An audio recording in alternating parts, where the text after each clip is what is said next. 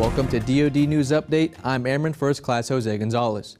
On Monday, Defense Secretary Ash Carter spoke with and swore in graduating Air Force cadets and Navy midshipmen during the Yale ROTC commissioning ceremony in New Haven, Connecticut. We're a great nation with great responsibilities. As we meet these responsibilities, our nation stands on the foundation of character that both you and this university make stronger and stand for and show to the rest of the world. As you embark on your career of lives of service, I know that our country is 100% behind you. Know that I'm a thousand percent behind you. For more information or to see more of this ceremony, head to defense.gov.